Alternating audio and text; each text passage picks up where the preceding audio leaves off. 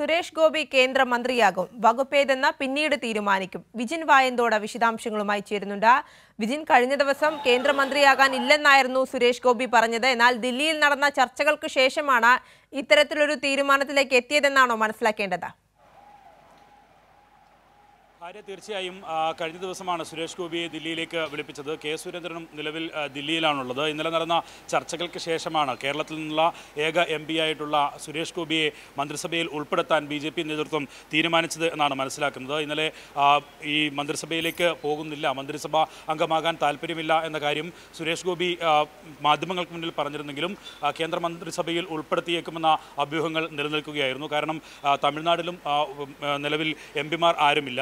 നിലവിലെ രാജ്യസഭാ എം പിമാരുടെ കാലാവധി പൂർത്തിയാവുകയും ചെയ്യുന്നു. വി. മുരളീധരനും രാജീവ് ചന്ദ്രശേഖരമായിരുന്നു കേരളത്തിൽ നിന്നുള്ള കേന്ദ്രമന്ത്രിമാർ. അതുകൊണ്ട് തന്നെ അവരുടെ കാലാവധി അവസാനിക്കാൻ പോവുകയാണ്. ഇനി രാജ്യസഭയിലേക്ക് മറ്റ് ഒഴിവുകളൊന്നും നിലവിൽ അടുത്ത കാലത്തൊന്നും വരാനില്ല. അതുകൊണ്ട് തന്നെ ഇവർ രണ്ടുപേരും മന്ത്രിസഭയിൽ ഉണ്ടാകില്ല എന്ന സൂചനയാണ് നിലവിൽ ലഭിക്കുന്നത്. അതിൽ വി. മുരളീധരൻ മന്ത്രിസഭയിലേക്ക് എത്തില്ല എന്ന കാര്യത്തിൽ ഒരു തീരുമാനം നിലവിൽ ഉണ്ടായിട്ടുണ്ട്. രാജീവ് ചന്ദ്രശേഖരന്റെ കാര്യത്തിലാണ് നിലവിൽ ഒരു ചർച്ചകളും അഭ്യൂഹങ്ങളും ഒക്കെ നിലനിൽക്കുന്നത്. രാജീവ് ചന്ദ്രശേഖരൻ നേരത്തെ തന്നെ വ്യക്തമാക്കിയത്. സംസ്ഥാനം കേന്ദ്രീകരിച്ച് തന്നെ പ്രവർത്തിക്കും എന്ന കാര്യമാണ്. കേരളത്തിൽ തന്നെ താൻ ഉണ്ടാകും എന്ന കാര്യം വ്യക്തമാക്കുകയും ചെയ്തിട്ടുണ്ട്.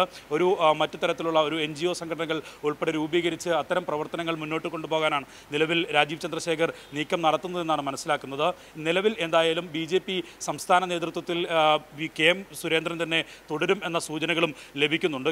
കാലാവധി ഈ തെരഞ്ഞെടുപ്പ് കഴിയുന്നതോടെ സുരേന്ദ്രന്റെ കാലാവധി അവസാനിക്കേണ്ടത് ആണ് എങ്കിലും സുരേന്ദ്രന് വീണ്ടും ഒരു അവസരം കൂടി നൽകാം എന്നുള്ള ധാരണയിലേക്ക് കേന്ദ്ര നേതൃത്വം എത്തി എന്നാണ് നിലവിൽ മനസ്സിലാക്കുന്നത്. എന്തായാലും അങ്ങനെ കെ സുരേന്ദ്രൻ സംസ്ഥാന ഭാരവാഹിയായി സംസ്ഥാന അധ്യക്ഷനായി തുടരുമെങ്കിലും സംസ്ഥാനത്തെ ബി ജെ പി രാഷ്ട്രീയത്തിൽ വലിയ മാറ്റങ്ങളിലേക്ക് കടക്കും എന്നാണ് നിലവിലെ സുരേഷ് ഗോപിയെ കേന്ദ്രമന്ത്രിയാക്കാനുള്ള തീരുമാനവും ഒപ്പം തന്നെ രാജീവ് ചന്ദ്രശേഖർ കേരളത്തിൽ കേന്ദ്രീകരിക്കാനുള്ള നീക്കം തുടങ്ങിയതും സൂചിപ്പിക്കുന്നത്. എന്തായാലും ഇവരുടെ നേതൃത്വത്തിൽ ആയിരിക്കും ഇനി കൂടുതൽ പ്രവർത്തനങ്ങൾ ബി ജെ പി കേരളത്തിൽ നടപ്പിലാക്കുക എന്ന സൂചനയാണ് കേന്ദ്ര നേതൃത്വവും ഒപ്പം തന്നെ സുരേഷ് ഗോപിയും അതുപോലെ തന്നെ രാജീവ് ചന്ദ്രശേഖരും ഒക്കെ നൽകുന്നത്. നിലവിൽ വി മുരളീധരന്റെ വിഭാഗമാണ്. കേരളത്തെ ബി ജെ പിയെ നയിക്കുന്നത്. കെ സുരേന്ദ്രൻ ഉൾപ്പെടെയുള്ളവർ വി മുരളീധരൻ അനുകൂലികളാണ്.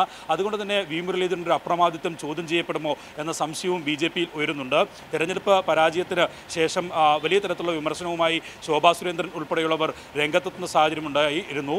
നിലവിൽ ഈ സീനിയോറിറ്റി പ്രകാരം എം ടി രമേശിന്റെ പേരായിരുന്നു പ്രസിഡന്റ് സ്ഥാനത്തേക്ക് ഉയർന്നു വരേണ്ടിയിരുന്നത്. പക്ഷേ വലിയ തരത്തിലുള്ള ഗ്രൂപ്പ് സമവാക്യങ്ങൾ എം ടി രമേശിന്റെ സാധ്യതകൾ തള്ളുന്നു എന്നുള്ളതാണ് പ്രധാനപ്പെട്ട കാര്യം.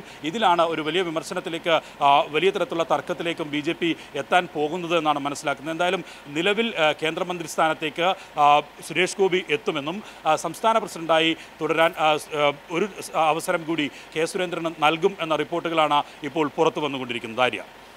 ശരി എന്തായാലും സുരേഷ് ഗോപി കേന്ദ്രമന്ത്രിയാകും വകുപ്പേതെന്ന പിന്നീട് തീരുമാനിക്കും. കേന്ദ്രമന്ത്രിയാകാൻ ഇല്ലെന്നായിരുന്നു സുരേഷ് ഗോപി കഴിഞ്ഞ ദിവസം പറഞ്ഞത്. എന്നാൽ ഇന്നലെ ദില്ലിയിൽ നടന്ന ചർച്ചകൾക്കു ശേഷമാണ് ഇത്തരത്തിലൊരു തീരുമാനമെന്നാണ് മനസ്സിലാക്കുന്നത്. വിജിൻ വായന്തോടാണ് വിവരങ്ങൾ നൽകിയത്.